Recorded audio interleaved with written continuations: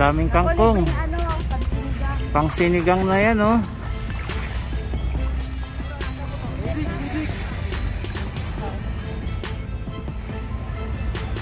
Naku, nasugat na si ate. Ay, nasugat.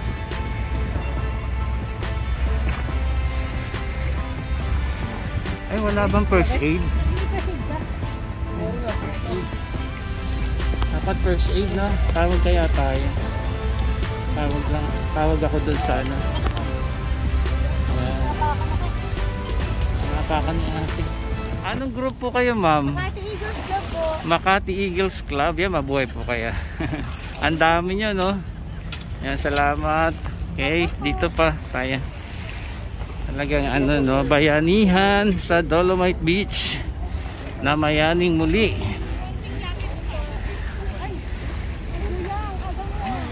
Ayan. So ando pa. So maaga na sila maaga sila nag-start dito eh. Kaya medyo naubos-ubos na rin po yung ah, mga basura dito. Pero ang dami pang parating na ano oh, na mga water hyacinth dyan sa gitna ng dagat. Ang dami pa. Daway lakad-lakad pa tayo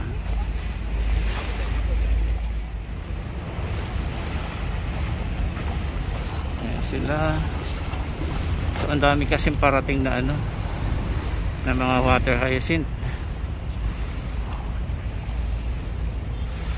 Ayan.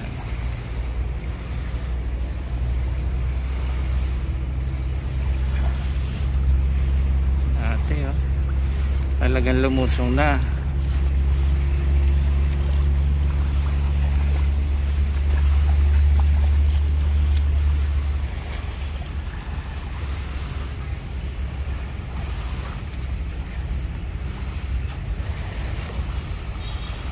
Kuhanan din natin sila. Morning sir. Ito.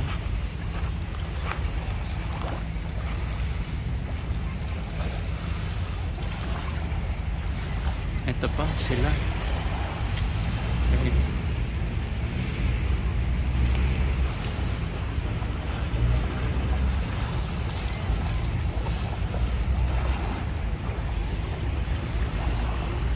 Okay, ito sila. Ganda umaga po. Sir, anong group po kayo, sir? Mountain Rangers po. Ay, yung mga mountain rangers. Ayun, salamat po. At ah, napasyal kayo dito at nag-clean up drive. Apa. Ayan, baka meron po kayong babatiin. Ah, binabati nga lang po namin yung mga ibang ka-rangers namin dyan. Ah, Apo. stay safe kung nasaan po tayo. Ayan, mabuhay po mga... Ayan, invite lang po sa mga susunod na araw. Apo. Samahan nyo po kami. Ayan, ano po muli yung ano nyo? Mountain yung, ayan, Philippine Mount- Mountain Rangers. Philippine Mountain Rangers. Apa. Yan, salamat po, mabuhay Okay po. kayo. Salamat po. So ang dami na nating nakita no na, na mga nag-participate po ngayong araw dito. From uh, Coast Guard, mga Philippine Army, andyan din po yung ating mga uh, Eagles Club sa iba't ibang uh, branches o area na nag-clean up drive po dito sa Dolomite. Ayan, so ang dami pa rin pong parating ng mga ano, water hyacinth. Ayan, yan po yung ngayon kanilang uh, pinagtutulong-tulungan. Mga bata pa sila eh, no? Pala ko nga, mga ano lang sila eh, mga estudyante, no? Kaya pala, mga Philippine Mountain Rangers po sila. Ito ang dami, oh. Isang, ano, isang kumpol, oh. So, hindi lamang siya water hyacinth. May nakikita rin tayong, ano, parang kangkong yata ito, talbos ng kamote. Ayan no.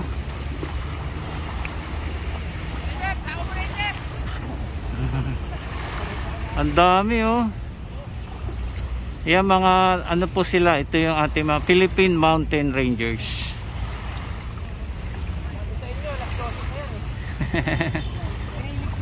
Ayan, kasi nga naman pagka hindi nila hinila mamaya pa ba, ba, ano rito, mapapadpad kaya ayan, minano-mano na yan ang pag ah, dami oh. May kangkong pa no. So parang may Parang bulaklak pa yun ng ano, kalabasa yung nakikita natin. Kung ano, tin parang tinubuan na ng ah, iba't ibang gulay yata ito. Ayan oh. Sila ate oh.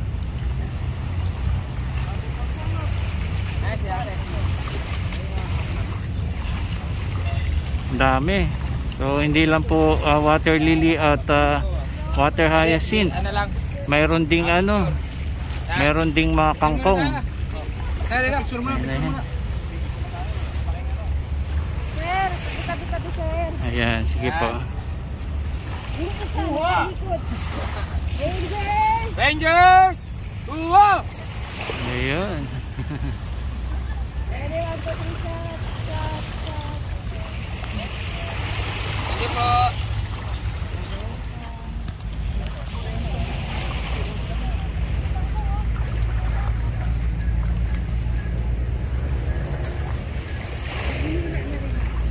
Ayan si ma'am. Kangkong! Daming kangkong. ano, pansinigang. Pang sinigang na yan, oh. Kasama na rin ano sa water lily, water hyacinth, ang mga kangkong.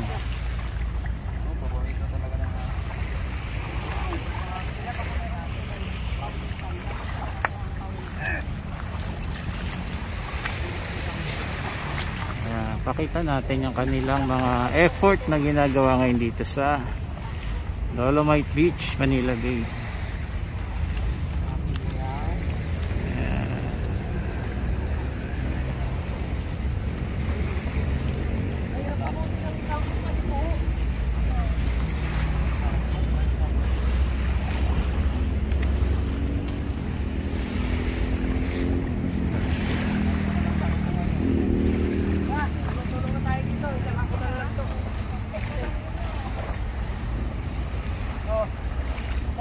Kangkong nga, ang dami. Pinagtulong-tulungan nila, oh.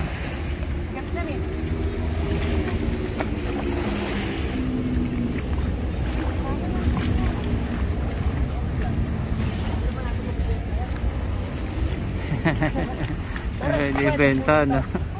Mahalang kangkong ngayon, eh. Nasa, I think, more than 10 pesos na yata ang kangkong ngayon. Makasampung Oh, 10 piraso lang. bilang na bilang.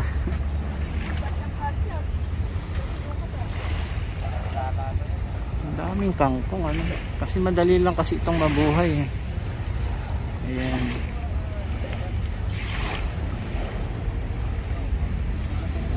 Ah, once again, sila po yung ating ah, Philippine Mountain Rangers.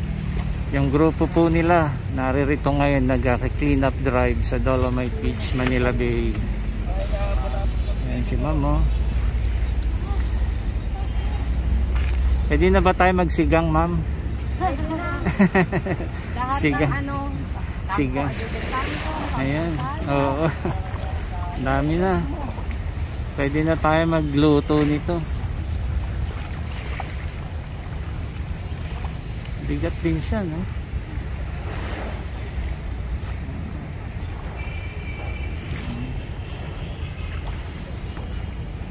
Dito, walang arte-arte oh. Sila ma'am kahit mga babae talagang lusong sa ano, sa tubig.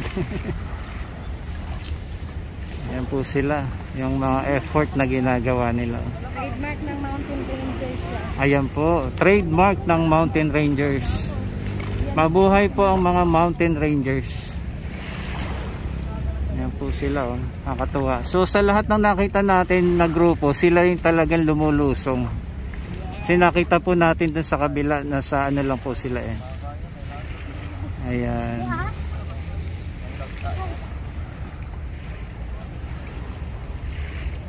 Okay, mabuhay po kayo. Salamat po ah, sa ginagawa niyong ah, effort at pagtulong dito sa ah, Manila Bay.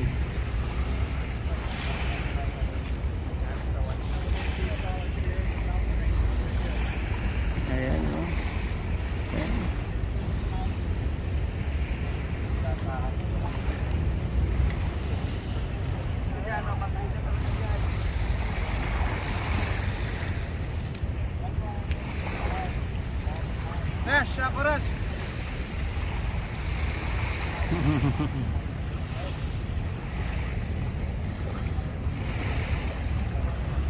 Tanggapin kaya ni Eloisa kung uh, kuha ko ng kangkong.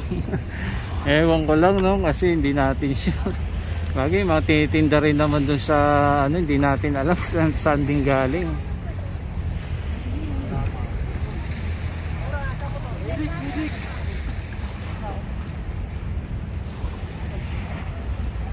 Nako, nasugat na si ate. Ay, nasugat.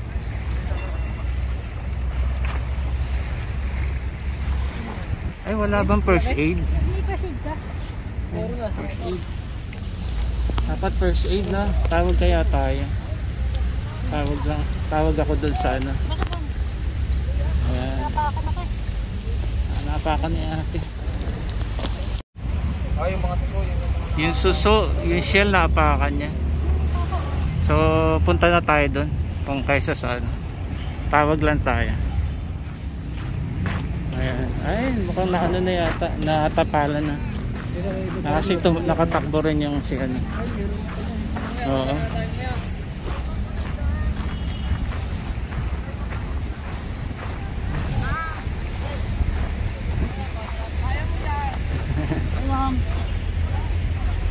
Okay. Nalagyan po po man ng gamot ka, ma'am. Nalagyan ba ng betadine? Ito po kayo kasi wala siyang... Ayan. bawang itong po problema. Sige po, linisan natin. Par. Wala nga, ma'am eh. Naubos na rin siya. May tape siya. Mga hugasan May tape! Pero baka tape! Tape! Tape! Ano kayo na po maglalagay, ma'am? Tape! Oh, Ayan. Okay. na. Para malinisan din Para ano. malinisan po.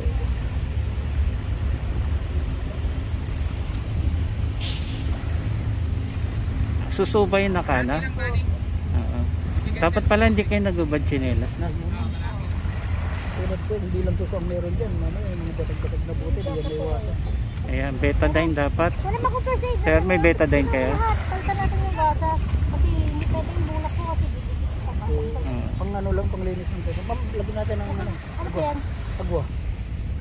Walang Wala betadine. po kayong SS o yung... uh, Mas maano yung betadine eh. Betadine na lang ma'am, di na natin lilinisan. betadine na lang po. Betadine para hindi mahapdi. Ano yan eh? Bulak.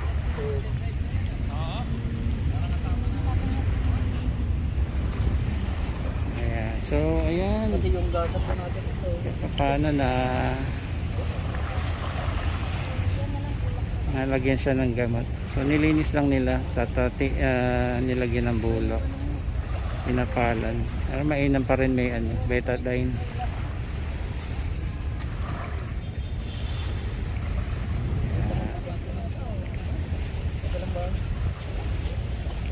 Ayan na, nurse ka na sir. Hindi ka lang chief, chief SG. Nurse ka na rin. Mga ito ang well trained dito sa mga post-it na to. Ayan, buhos mo yan sir, buhos mo. Ayan, okay. Okay na yan. Okay. Sir, thank At least, sige po, sige po sir, salamat din. Ayan, meron kasing nakahanda ang mga ano, security natin dito. Kahit pa paano, o, wala man talaga yung ah, mga parang mga nurse o ano. eh, at least meron silang mga pang first aid dito.